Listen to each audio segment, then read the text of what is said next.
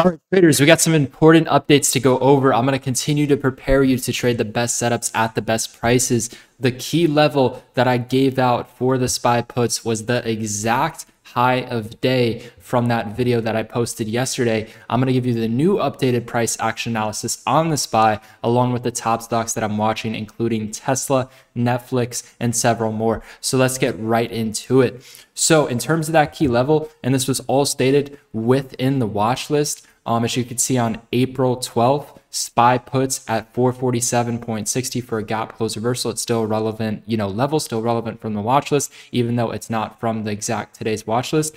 Um, but yeah, that price alert triggered and that opened up a phenomenal opportunity. The exact level, if you watched yesterday's video, it was $447.57. We had people within the chat play this one within, you know, using the watch list, using the gap close reversal strategy. Um, big shout out to the Beef Supreme, 50% return on SPY puts using the GCR strategy, the gap close reversal strategy.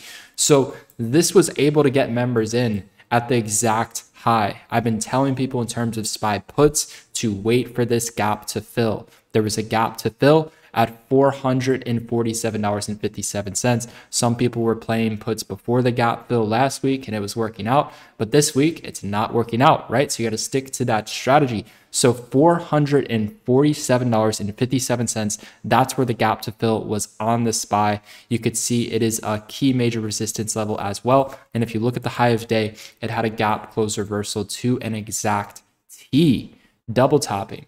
So in terms of what are your confirmations to be buying puts on this gap close reversal? You could see in the pre-market, it's already topping out at 447, pulling back, pulling back. If you go back to the previous day, you can already see that it was starting to pull back as well from 446. So right around this key gap close reversal zone. And then in terms of confirmations, the five minute candle right here is a bearish trend reversal candlestick. The five minute right here is a bearish trend reversal candlestick, right? And then in terms of the one minute candles, you have a nice double top, nice bearish confirmations coming in. It gets slammed back to pre, pre-market support. And then you have new lower highs. Your new bearish wicks are forming much lower than the gap close reversal level, which is all confirmations to be buying put options into these lower highs, into this pullback, even into this low of day breakdown right here. Um, and then the five minute chart as well gave it away. So those were the bearish confirmations in terms of this buy puts. And then you might be wondering, well, you know, where do you set your price target? Well, since SPY gapped up, you would set your price target at where the new gap is waiting to fill at that previous closing price, which is pretty wild because SPY, you could have traded the strategy both ways. You could have went short, got puts, long got calls. I'm to show you how. Um, you can see right here, there is a gap to fill below at 445.04, which is a key support level from yesterday's close. You could see right here, nice support from there, and then it shoots up to fill that gap, right? So SPY had a back-to-back -back gap close reversal, and this is why you have to lock in profits when that gap fills. So if you look at the initial reaction, as soon as it started to fill this gap, you have a bullish trend reversal doji right here. This is bullish. You have a bullish pin right here. You have more bullish pins coming in right here. It did go a little bit under. It did try to form it as resistance, but you could see once it started to break above this channel, once it started to turn it into support and break out and turn it into support, that's when SPY had its gap close reversal right around 10:20 a.m. Also keep note that stocks like to have reversals at 10 a.m. So if you see a stock gap up and then it comes straight back down like SPY did to fill that gap, typically around 10 a.m. or 9:50 a.m., they like to have short-term micro reversals. You could see this is a micro reversal where it fills the gap, has a micro reversal, nearly retest the high of day, and then has another gap close reversal. So SPY had multiple reversals today, had a gap close reversal here for puts, had a gap close reversal right here for calls, had another gap close reversal at that key resistance level for puts. Again, so much opportunity within the SPY. Um, in terms of bullish confirmations at the gap close reversal level, these bullish pins, when you see these and you're in a short and it's at a key support gap fill level, you got to be stepping out. This is a very bullish pin right here. And then the higher support, the breakout comes in, higher support, higher supports. That's when you got to step out. But yeah, that's how you could have played it both ways. Um, you know, SPY had this gap to fill right here. Once we see that that's a resistance level, we look to buy the puts, ride it back down to fill the gap below. Once the gap fills, if we see support coming in, typically we'll just automatically get out. But if we see support starting to come in, some bullish candles come in, we lock in the profits for the puts. And then if you want, you could switch sides and you can buy the calls with a max risk of right around here at 404.28, right? These are key trend reversal levels, meaning if it doesn't have that trend reversal when we get in, we get out for a very, very small loss. And when it works, the win is typically two to three times bigger than that small loss. Um, so yeah, that's kind of the play. That's kind of the strategy on how you could have used you know, SPY had a gap close reversal back to back today, both short and long with the strategy. Got you in at the exact high of day. This is wild. 447.57 is the high. And if you look right here, that gap that's waiting to fill above is at 447.57 to an exact T. What trend reversal strategy is going to get you in at the high?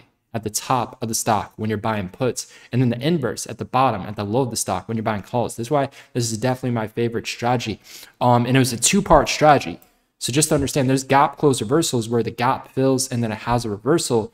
But this is a two-part strategy. This one is my favorite. This is an add-on. This is a, a trend stacking.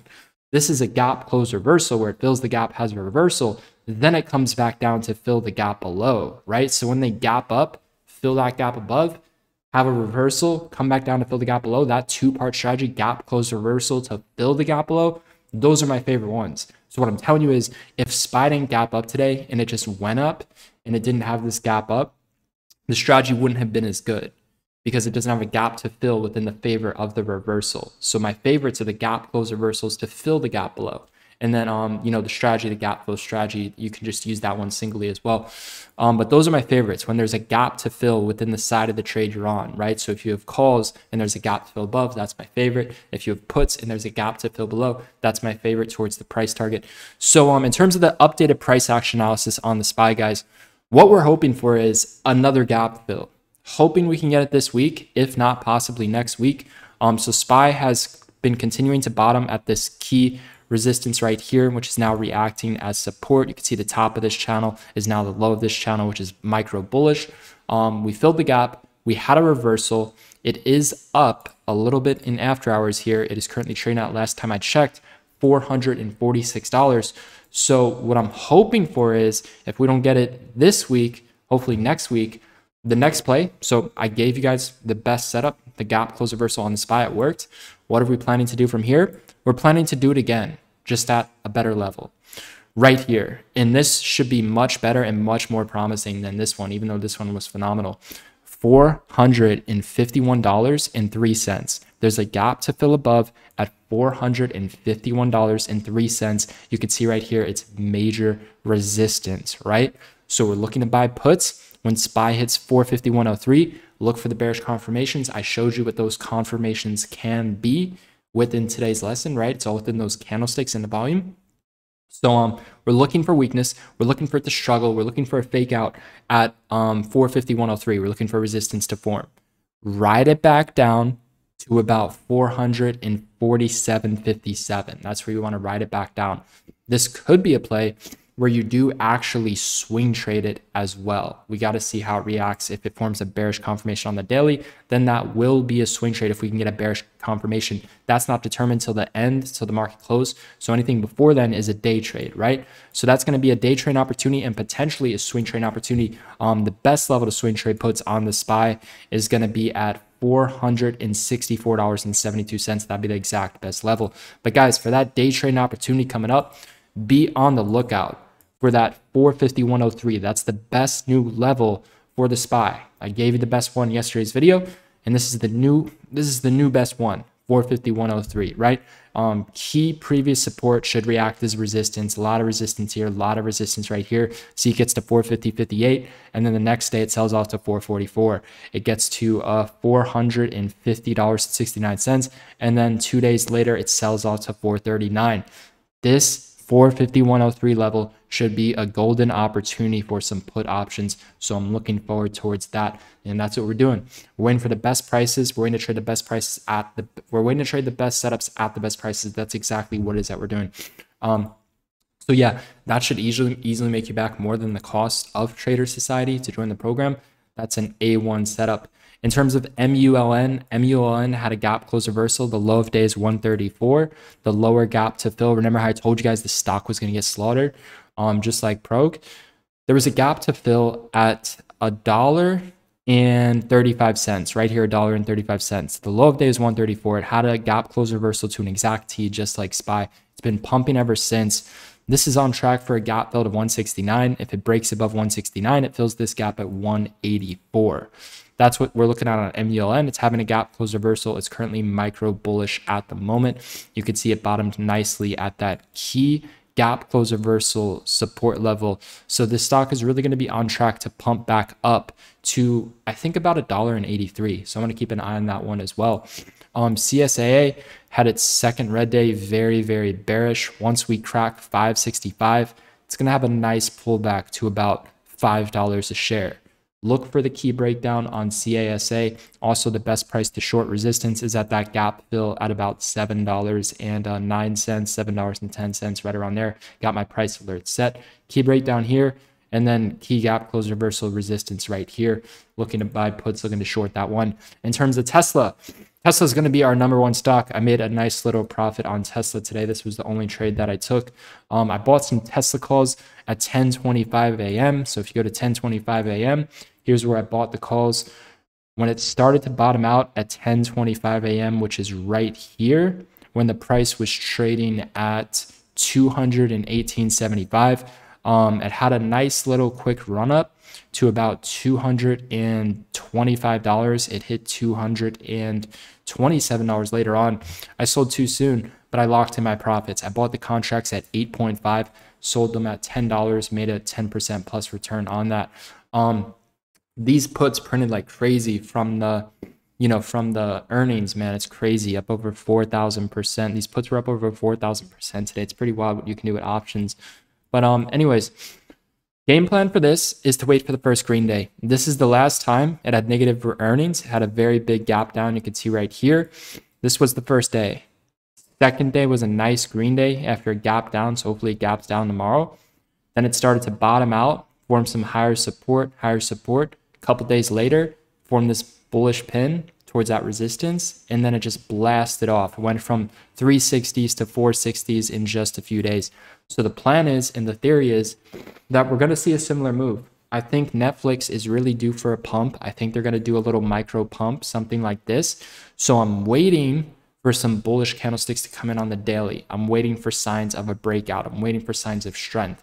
When I see that, I'm going to be buying Netflix. And in terms of the calls that I'm looking at, I'm looking at um May. I'm looking at like a May 6th, a May 13th. That's what I'm looking at in terms of Netflix. I think that'll be more than enough time for these. Calls are very, very cheap, very, very oversold right now. So I'm waiting for some bullish confirmations. Um, has this bottomed yet? Most likely not, but the bottom is going to be very, very soon. Last time it bottomed on the second day. The second day it bottomed out last time. So in terms of upcoming plays, if we crack 212, we're going to go to like under 200. We're going to go to about 190 most likely, and then we'll start to rip. So keep an eye on dip buying opportunities for Netflix in terms of where this can potentially bottom out. Let's see if the daily chart tells us anything. Um, so let's take a look at these key support levels. Let's see, let's see. So we have a gap to fill at 186. So keep an eye on this. This is what you want to keep an eye on. 186 and 192, most likely 192. 192, 186, um, 201, 201, 192, 186. That's the bottom is going to be in between that if we go lower. If we crack 212, it's going to bottom out in between that. The best price for it to really bottom out where the strong support is would be towards 186 and uh, 192 in between that zone. There's some gaps to fill. So Pay attention for a gap close reversal at those key levels. I'm interested in buying Netflix. I'm just waiting to do so. It most likely hasn't bottomed out just yet. Last time it bottomed out on the second day after earnings, so tomorrow will be the second day. We'll see how it reacts. It's due for some sort of pump. It's going to take some time. Could take like two, three weeks, but it's due for some sort of move up. It's due for some sort of pump. So I'm waiting for the buyers to come in. I'm waiting for the pins to form. I'm waiting for the bullish confirmations on a Tesla for a potential swing trade. Um, so yeah, that's the game plan on that. In terms of Tesla, Tesla, um, dropped all the way to 973 today, and then it pumped up after earnings now at 1028. So your make it or break it level for Tesla is going to be 1028. If it cracks, puts are going to print. If it holds up, then this is going to be on track to fill the gap at 1057. Best price for puts, 1057 and 1091. Those are my two levels of interest to buy micro puts on Tesla. So we'll see how it reacts at those key levels for tomorrow. Um, this is getting interesting. Keep an eye on NIO. NIO stock is due for a pump. It's due for a spike. It's due for a rip. You got a lot of support right here in the 1875s. You have a gap to fill at 1987 lately it's been recovering a lot. Whenever it has a big pullback, it's been recovering a lot, recovering a lot, recovering a lot, shooting back up to fill those gaps. Keep an eye on NIO. It's due for a pump back. It's due for a gap fill play at 1987. And then puts are going to print when this goes back to 1987. So I'm waiting to buy some puts at key resistance levels for a gap close reversal at 1987. See how it taps out 1999 at 1990. The next day it drops to 1807. Puts printed um like crazy up over 200, 300%. I'm looking to do that rinse and repeat when it goes back up to fill the gap. In the meantime, we're due for a pump. We're due for some sort of pump up on this stock. Um, it recently bottomed out at 1777 and then it ripped back up to 20. So this just had a massive move to the downside, had a nice gap down. It's due for a gap fill. Keep this on your radar. It's going to really start to break out when it goes above 1855. This goes above 1855, 1860. It's going to push back up to fill the gap. Keep an eye on NIO stock for a bullish move and then the bearish move at 1987. That's what I'm really excited for is that bearish move. So um yeah, that's going to be a really good setup to trade both ways. Keep that on your radar. Um, in terms of other plays, let's take a look here. So I'm not too interested in Airbnb at the moment. I do want to see, this does look bearish. I do want to see how it reacts to 160. It's on track to fill that gap at 160.11 this week. Limit stock crashed just as I expected. If you watched that video yesterday, limit stock crash. Um, it's down 1.3% on the day. The puts are up 20 to 50% on the day. VERU stock ended up crashing. I was bearish on this one in the 15s. Um, it's trying to come back and recover to fill the gaps. No longer interested in buying this one. For this one, I'm waiting for a put opportunity towards 14.95, maybe even 12.64. Most likely not. Gonna wait till 14.95 on that, most likely. So, um, ATER, ATER had its it finally flipped, and we got a blue, a dark blue triggered on the squeeze indicator, which is bearish. So ATER stock is basically done. Um, we do have a gap to fill above at 585. That's where I want to buy some puts on ATER if it rips back to 585. In terms of where should we be dip buying ATER stock, right right around here. Wait till 385. 385 gap close reversal. Wait here to dip buy ATER stock. So 385, looking to dip buy, looking to get some calls on ATER. And in terms of shorting, looking to go short at 585. So 585 best resistance level, 385 best price to dip by back to back gap close reversals, just like SPY. So that's what I'm looking to do on ATER stock. Apple is looking a little weird. Overall, this looks bearish. It really does. Um, this does look pretty micro bearish. Not interested in it though. Anything can happen with this one.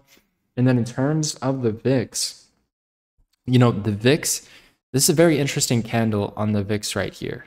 It nearly filled the gap like I said it would. Then it got slapped, had a gap close reversal. Um, this this candlestick on VIX is pretty weird. Not the most bullish, not the most bearish. It's kind of in between. Also, keep an eye on MULN because it's really starting to uh, pick up here during after hours, having that gap close reversal at 160. Got to pay attention to those gap close reversal uh, levels. This was a key one. Previous resistance now reacts as support. You have the key gap close reversal right here at 135. But yeah, guys, those are the top setups. So the main ones I'm going to be looking at are NIO. That's going to be an A1 setup. Tesla, Netflix, um, SPY is going to be A1 when it gets back to 450, I'm telling you, SPY puts at 450, Those are going to print.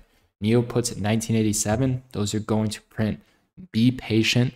Wait for the best prices. Trade the best setups at the best prices. These are going to be some phenomenal trading opportunities coming up. We just got to wait for these price loads to trigger. Whether it's going to happen this week or next week, it should happen. So um, that's my game plan moving forward, keeping it very, very simple.